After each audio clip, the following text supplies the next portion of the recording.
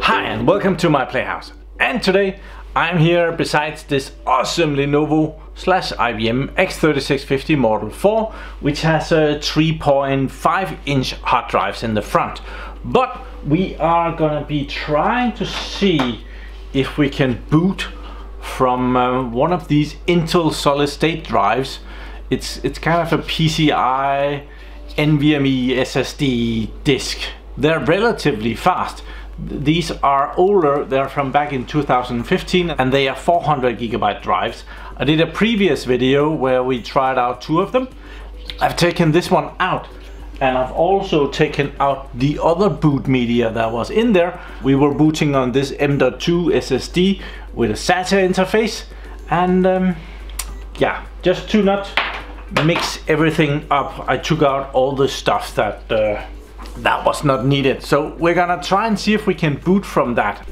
Here it is in the riser card. Uh, this server only has one CPU, so there's only just one riser card in here. Uh, plenty. Booting from NVMe is something that not all servers can do. This server is from back in 2012 and at that point NVMe was not really a thing so only servers that has had their BIOSes modified and updated will be able to boot from them.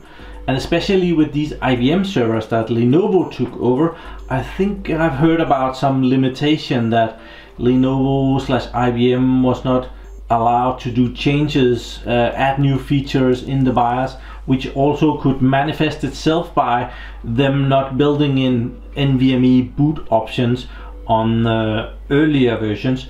This server is from just about when when Lenovo and IBM made that deal.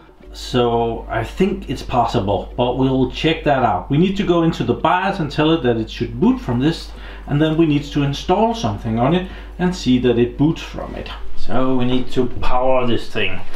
Uh, I disconnect it because it's it uses power and it's no reason for that when I'm not filming.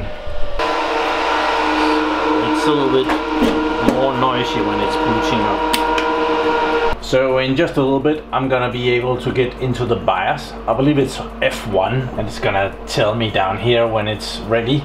I think I can press it already so that I don't miss it.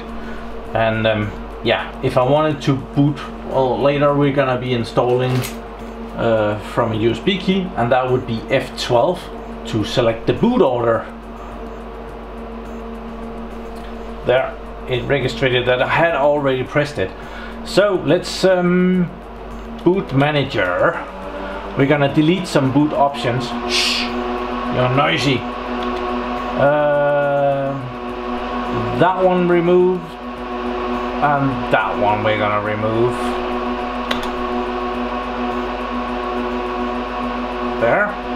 We're gonna keep hard disk number zero. Um, there is no hard drive number zero, but I might need that later. So adding a boot option and physical present devices. And we have something in slot number one, and I'm guessing very much that that's gonna be our NVMe drive. So let's pick that one and uh, change description try that one. And commit changes. That's just a name. There. And I think we can now go and see our we can change boot order and now we have two.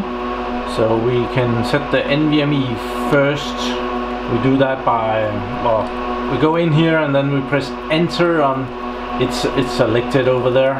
Press enter and then we get the two options. And when I go down to PCIe NVMe and press plus it moves up. And then I just press uh, enter for confirming changes and commit changes. There we are. So I think we are ready to uh, to go out.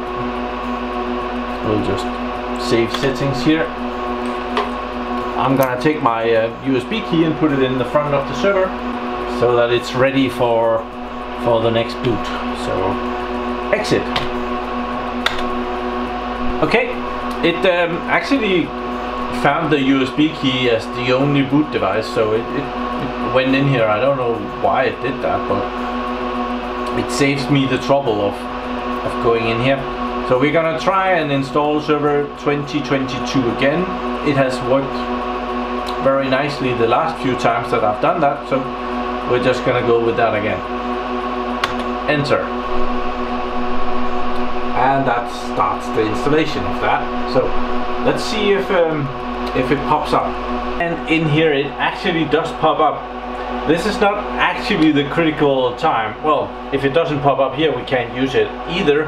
But when it has installed server 2022 on it and wants to reboot, um, that's when it um, it's it really comes to the test if it's gonna be able to um, to see it when it boots.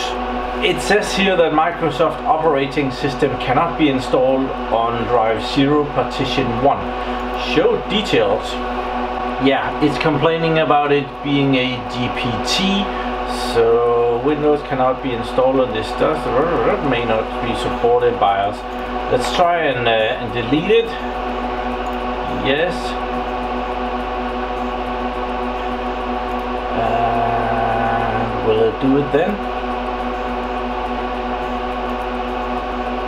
New apply error creating new partition eh. yeah it's not letting me uh, create a partition well it, created a partition on it but it's not letting me install on it which is hmm, dreadful so that's that's too bad and I do believe that we have enabled it in the BIOS but well we might have to go check so I booted and uh, deleted the partition. Let's see what happens. Okay, a bit more promising. It said that it could only install uh, on GPT partitions uh, in an UEFI or EFI BIOS. So uh, let's see if this goes according to plan. I was in the BIOS and I messed around and I couldn't find anything that looked ever so slightly wrong. So my biggest guess is that I, I changed the boot order in there and uh, it needed a more of a reboot to realize that. That's that's my best theory right now. But let's see if this works. It can still not work. So in a second or two it's gonna try and reboot and uh, and that's when we figure out if this is good or bad. Finishing up. There, it's gonna restart in a matter of seconds.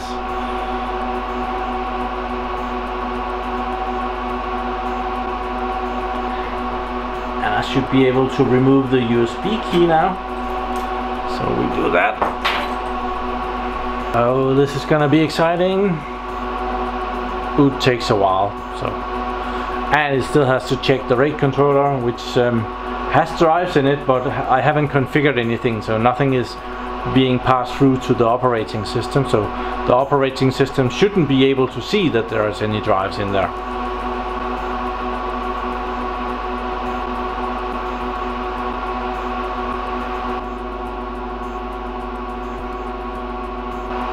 Cross your fingers.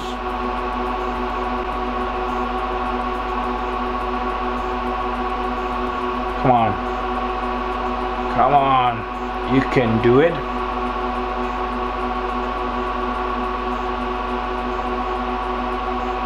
Yeah. Look at that.